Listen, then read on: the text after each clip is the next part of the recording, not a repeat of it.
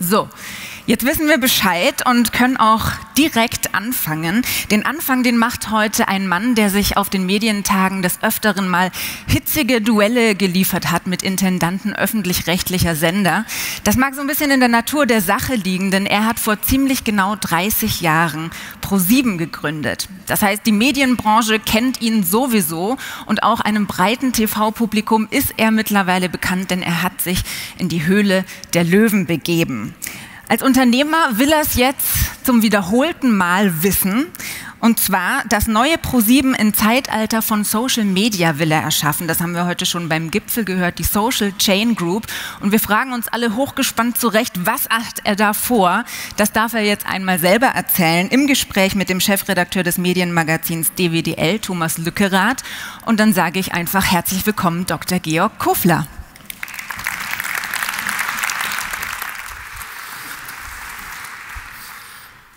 So, zurück auf der Mainstage. Sie sind vor zehn Jahren, Herr Kofler, aus der Medienbranche sozusagen abgetaucht. Sie waren hier Dauergast. Sie haben sich Duelle geliefert hier auf der Bühne bei den Medientagen. Wie schwer war das damals von heute auf morgen zu sagen, jetzt halte ich den Mund? Sie waren nicht einer derjenigen, der aus der Ruhephase heraus die Nachfolger kommentiert hat. Nee, das war ja gar nicht schwer. Ich habe mich ja aktiv äh, entschlossen, äh, einen Themenwechsel in meine Lebensplanung einzuführen, weil ich das Gefühl hatte, hatte nach 20 Jahren Fernsehen, da habe ich in dieser Branche schon ähm, äh, ziemlich viel, wenn nicht alles Wesentliche erlebt und das auch noch in einer erheblichen emotionalen und unternehmerischen äh, Bandbreite.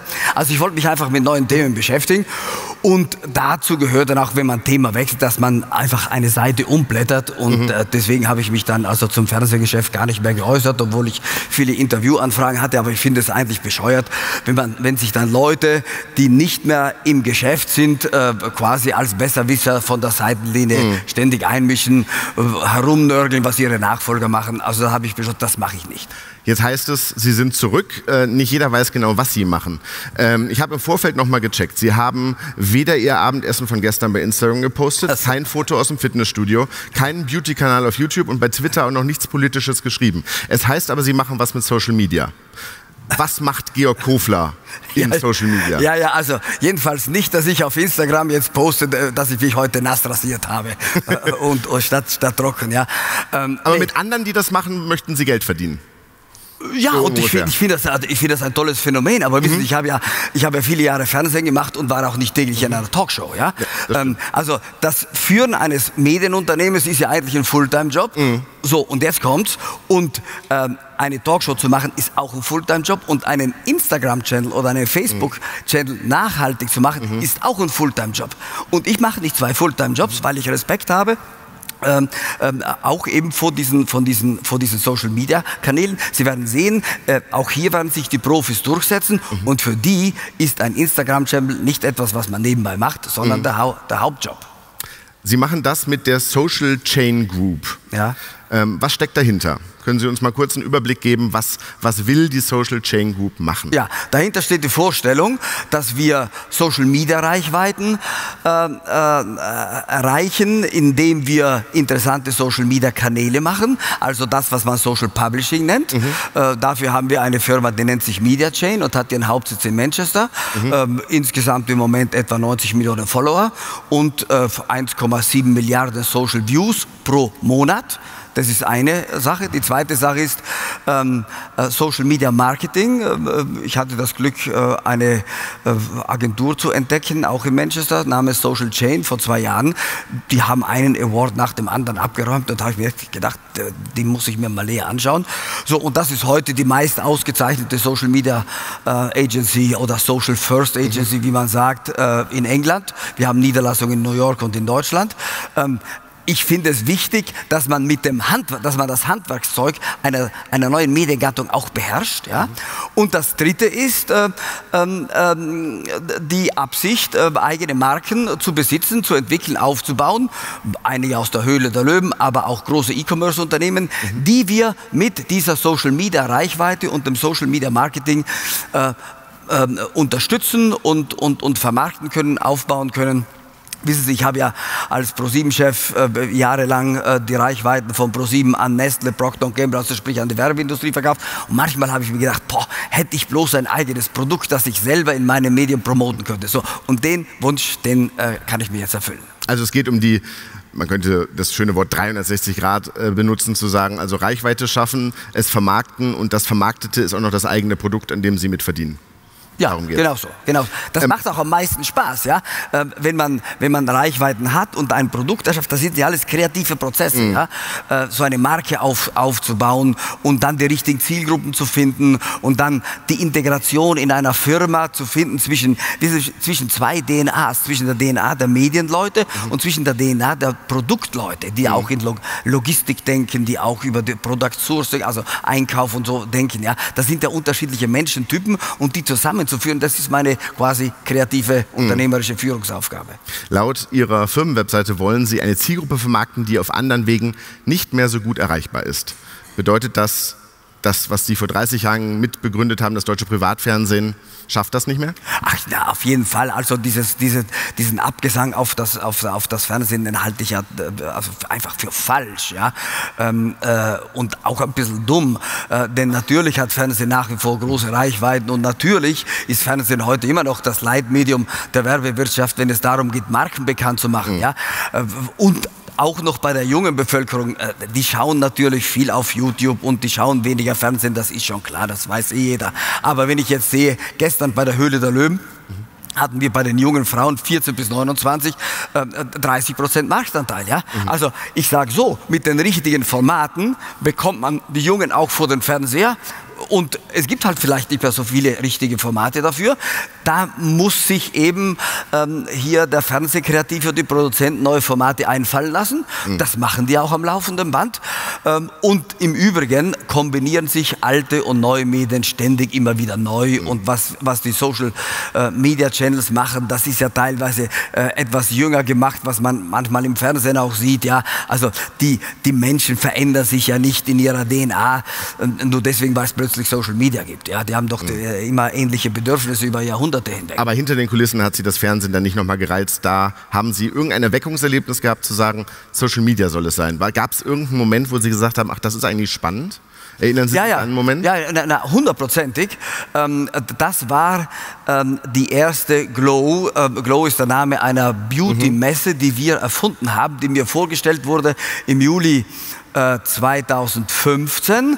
und ich war sofort begeistert. Und zwar deswegen, weil wir eine Reihe von Social Media Stars unter Vertrag hatten aus dem Beauty-Bereich. Und da hat eben der Erfinder dieser, äh, dieser Idee gesagt, äh, jetzt nutzen wir mal die Social Media Reichweiten und laden unglaublich viele Mädels ein, die dann dahin kommen. Das erzählen wir den äh, Marken aus der Beauty-Industrie, die kommen dann mit ihren Ständen dahin. Und ich habe gesagt, okay, aber bitte, wie bitte, ohne Fernsehwerbung, ohne Printwerbung, mhm. soll das gehen? 4200 Tickets zu verkaufen, freiwillig, ja, sollen die Leute hinkommen. So, und dann fünf Monate später nur, am, an einem Samstag, dem 31. Januar, 2016 ja, fand die erste Glow in der Jahrhunderthalle in Bochum statt und ich kam hin und es war schlechtes Wetter und Wind und Regen und sah dann 1500 Mädels in einer Schlange stehen, ja, äh, in der Hoffnung, dass die Tore bald sich öffnen würden für, für die äh, Glow Beauty Convention. Da, also das hat mich beeindruckt. Also diese Mobilisierungsfähigkeit von Social Media hat mich beeindruckt. Und da habe ich gesagt, okay, das ist mein nächstes Ding, da setze ich meine Chips drauf. Lassen Sie uns kurz über diese drei Standbeine Ihrer Unternehmung sprechen. Sie haben gesagt, es gibt den Bereich Social Publishing, die quasi erstmal Reichweite generieren, die eigene mhm. Inhalte äh, bestücken. Das sind zum Beispiel bei Facebook ähm, Website oder Facebook-Seiten, die kennt man auch so dieses ich sage jetzt mal ähnlich wie Kinder der 90er erinnern sich an dies oder so. Also so, mhm. so gesammeltes, äh, gesammelte Fundstücke aus dem Netz, mhm. könnte man das nennen. Ist das denn genauso gehaltvoll wie das, was, man, was Sie früher noch im Fernsehen produziert haben? Oder geht es nur noch darum, möglichst schnell Reichweite zu... Also sind die Inhalte nachhaltig? Es wirkt so, als wenn es nur darum geht, schnell die Reichweite zu generieren. Äh, ja, ja, da, das gibt es natürlich auch haufenweise. Mhm. Ähm, aber wir schauen bei unserem Channel jetzt schon äh, nach, äh, nach und nach hier ähm, nach nachhaltige mhm. Inhalte aufzubauen, eine klare Positionierung. Das ist, sind so, also ich sehe das so wie kleine Fernsehsender, ja, die nach und nach sich in einer Special Interest, also in einer Zielgruppe hier positionieren. Und wir bauen Redaktionen auf, die ähm, sich genauer überlegen, äh, welche originären Inhalte sie bieten. Äh, das Match hier ist natürlich wie im Fernsehen nur mit originären Inhalten zu gewinnen. Mhm. Man muss eigene Reakt Redaktionen haben, eigene Kreativität haben, eine klare Vorstellung von der mhm. Positionierung von diesen, von diesen Channels. Und wissen Sie, und dann ist das übliche Try-and-Error-Prinzip. Ich weiß ja auch nicht heute, wie der beste Beauty-Channel der Welt funktionieren soll mhm. oder der beste Food-Channel oder, oder Student Problems. Ja. Der, ähm, das muss ausprobiert werden und ich gebe den Leuten die Freiheit, das auszuprobieren und, und nur so kommen wir weiter. Und das war bei ProSieben in den ersten Jahren genauso. Ich wusste auch nicht, wie ProSieben genau ausschauen würde, drei Jahre mhm. später. Das hat sich eben im laufenden Geschäft ergeben um ein Lieblingswort Ihres Mitlöwen äh, Frank Thelen zu benutzen. Skalieren kann das Ganze natürlich besonders im englischsprachigen Raum. Sie sagten ja auch, Media Chain sitzt in Manchester, ja. die Social Chain Group sitzt in Berlin. Ja. Ähm, wollen Sie denn auch inhaltlich in Deutschland wachsen? Also sucht die Social Chain Group in Deutschland noch Wachstum und Mitarbeiter? Ja. Oder ist das was, wo man sagt, wir bleiben beim Englisch? Nein, nein, nein, nee, auf jeden Fall auch in Deutschland. Äh, wir sind, haben im Moment so eine Verteilung. Wir sind eine Social Chain Group Aktiengesellschaft, eine deutsche mhm. AG. Wir haben im E-Commerce-Bereich ein viel größeres Gewicht in Deutschland oder im deutschsprachigen Markt. Wir haben im Social Media äh, Business ein größeres Gewicht in England und in den mhm. USA. Das äh, hat sich so ergeben, aber man kann auch sagen, das hat auch einen Grund. Ähm, also die Engländer und die Amerikaner sind im Bereich Social Media einfach ein Stück weiter als wir in Deutschland. Aber jeder Mediengeschäft weiß, dass amerikanische Trends oder englische Trends dann ein, zwei, drei Jahre später auch nach Deutschland kommen. Also das wird sich gegenseitig befruchten. Ja, das mhm. ist ja auch das, das, Interessante, was mich da reizt in dieser neuen Gruppierung, weil die auch international ist. Ähm, das Ging ja bei ProSieben nicht, weil Fernsehen ja immer national war. Ja? Ähm, äh, und das hier ist interaktiv und international und hat also viel mehr Spielebenen, mhm. als das im linearen Zeitalter möglich war. Sind die Reichweiten bei Instagram und bei YouTube eigentlich genauso seriös wie damals die Premiere Abonnentenzahlen? Nee, das, das glaube ich nicht, weil äh, die, die primäre Abonnentenzahlen, die sind das sicherste von allem, denn jedem Abonnenten äh, steht ein Konto gegenüber, ja, mhm. auf das er monatlich einzahlt. Also mehr Genauigkeit kannst du ja nicht haben. Ja? Die Social Media Reichweiten, ähm, ähm, äh, ich meine, da musste ich mich auch erst dran gewöhnen. Ja? Wir haben ja äh, im Fernsehen immer die GfK gehabt, wir haben, wir haben uns so viel Mühe und so viele Debatten gehabt, ähm, äh, ähm, um da eine Währung zu etablieren, die von der Werbewirtschaft akzeptiert wird und von den Fernsehsendern eben auch. Ja? Und eine solche Währung gibt es ja heute im großen äh, äh, Universum von Social Media eben nicht, sondern da gibt es eben Währungen, die von Facebook bestimmt werden, die von Google bestimmt werden, die von, die von den Plattformen bestimmt werden, die quasi ihre eigenen Einschaltquoten da hier bekannt geben, ohne dass da ein Dritter so genau das mhm. kontrollieren kann. Ähm, äh, auf der anderen Seite gibt es so viele Plausibilitätschecks, ja, ähm, äh, wo man, mit denen man mittlerweile auch äh, Lügen oder, oder gekaufte äh, oder Fake-Follower ähm, äh, ähm, da auch mhm. identifizieren kann. Und da sind unsere Social Social Chain ähm, Experten, gerade in England führend. Äh, ja, die haben ja ein Tool entwickelt oder ein Softwarepaket, mit dem man äh, also äh, ähm, gekaufte Follower oder, oder gekauftes Engagement wirklich identifizieren kann. Und das hat ja vor zwei Wochen weltweites Aufsehen erregt. Können Sie denn als, sagen wir mal, neuer Grand Seigneur des Social Media, wenn man das mal so überspitzt formulieren darf, können Sie uns das Rätsel auflösen? Was ist für Sie momentan aus Sicht der Social Chain Group das spannendste Social Network? Wo würden Sie sagen, ist momentan das meiste Potenzial drin? Ja, äh, auf Student Problems. Okay. Ja? Also thematisch. Also, thematisch, okay. ja. Mhm. Ist der größte quasi äh, äh, Sender für Studenten, ja, mhm. weltweit. Mhm. Und klar positioniert, äh, verdient auch Geld ähm, äh, und ähm, äh, gefällt mir deswegen, weil er ein Thema aufgab, das es im Fernsehen nicht gab. Es gab nie einen eigenen Studentensender, obwohl man hätte sagen können, na, ist ja eigentlich naheliegend, ja, wenn es mhm. schon so viele andere Sender gibt, vielleicht einen Studentensender. Ähm, den habe ich erst dann eben im Social Media entdeckt. Kommen Sie über YouTube auch wieder so ein Ticken zurück zur Fernsehproduktion? Ja, sowieso, klar. Also äh, äh, das, das wird ja die Zukunft sein. Video ist die Zukunft von Social Media natürlich auch. Mhm. Und, und äh, bei Video geht es dann eben immer um Professionalität. Es geht dann eben um andere Formate. Eben nicht mehr 45-minütige Serien, sondern vielleicht 5-minütige Serien. Ja. Ähm, äh, es hat ja im Fernsehen auch immer unterschiedliche mhm. Formate äh, gegeben. 25 Minuten Sitcoms und 45 Minuten Krimis und manchmal auch 15-minütige Formate oder sowas. Ja. Also die, wir werden neue Formate erleben mit, mit vielleicht sogar ähnlichen Inhalten wie im Fernsehen. Hm. Ähm, Sie haben beim Privatfernsehen immer gekämpft und immer diskutiert, leidenschaftlich auch über die Überreglementierung des Privatfernsehens, über das, was das Privatfernsehen machen darf, auch was die, mhm. was die Werbung angeht. Mhm. Äh, jetzt sind Sie in Social Media eingetaucht, äh, sind da aktiv und wir erleben gerade die Diskussion darüber, wie muss da eigentlich Werbung beispielsweise gekennzeichnet werden. Das heißt also 20 Jahre später gleiches Thema, nur andere Plattformen. Nee, nee, überhaupt nicht. Also das war bei uns nie ein Problem, Werbung zu kennzeichnen. Wir haben mhm. immer nur dafür gekämpft, dass man uns nicht vorschreibt, wie oft man einen Spielfilm unterbrechen kann. Das finde ich ja nach wie vor, das soll im, im, im äh, ähm, ähm, im, äh, in, in, in, der, in der Kompetenz des Fernsehsenders sein. Ja? Denn wenn er zu viel Werbung schaltet und seine Filme zu oft unterbricht, ja, dann laufen die Zuschauer davon. Ja? Da gibt es ja ganz natürliche Korrektive. In Social Media ähm, gab es ja in der ersten Phase, wie immer, wenn es neue Medien gibt, halt diverse Grauzonen, äh, die unreguliert waren. Und natürlich haben Leute versucht, mit, Schleich, mit Schleichwerbung hier Geld zu machen. Das sind immer nur äh, sehr kurzfristige äh, Phänomene. Nein, nein, ich bin klar, wir wollen ja ein nachhaltiges Unternehmen aufbauen das auch einer, einer, einer, einer seriösen Regulierung standhält. Und deswegen ist Werbung äh, zu kennzeichnen und damit haben, haben die Profis kein Problem. Nur die, diejenigen, die sich eher, sag mal, Aufmerksamkeit erschleichen, die wollen auch Schleichwerbung machen. Aber die professionellen Leute, die äh, klare Inhalte haben, die auch eine gefestigte Community haben, die haben mit, mit, mit einer klaren Kennzeichnung von Werbung kein Problem. Mhm. Würden Sie heute eher in Sky investieren oder eher in Netflix? Puh, äh, ja, naja, also da bin ich mir nicht so sicher. Ne?